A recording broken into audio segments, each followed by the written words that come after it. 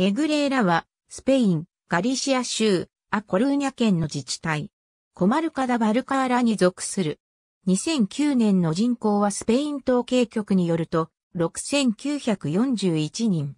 ネグレーラは、アコルーニャ県の西部に位置し、コマルカダ・バルカーラに属する。北はサンタコンバと、北東はアバーニャと、東はアメスト、南東はブリオンと南西はオーテスト、西はマサリコスの各自治体と接する。自治体の中心はネグレーラ教区。2007年の自治体選挙の結果、自治体首長はガリシア社会党のホルヘ・トゥーニャスカーマーニョが、自治体評議員はガリシア社会党、6、ガリシア国民党、5、パルティード・インデペンジエンテでニーグリラ、2となっている。ネグレーラの主要産業は農業と牧畜業である。主要産品はトウモロコシ、ジャガイモや家畜の飼料用作物である。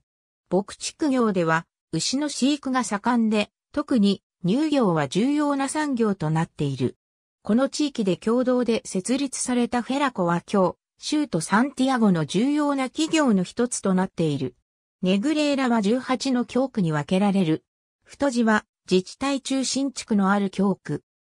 ネーラ、カルロス、エイブルーシャンのウソトゥーゴリーゴポルカンチェローズ、プロザプブリカ、HTTP、プロザ、ガル、リクターソ、1263、エボルシオンのウソトゥーゴリーゴポルカンチェローズ、AB、ディースヤナージーグラフコエレストロドデガリツヤボリューム17、P21、ジゲルプブラケーションス、2009、ISBN 978から8461358083パブロス・ヨネスデエチョデスで1900アスタ1991シフレス・オフィシアルズデロース・センソス・リスペクティボースシフレス・オフィシアルズデパブレーシアン・リ・ザルトン・ツゲラレビチオン・デル・パドロン・ミューニセプルエイチデエネロありがとうございます。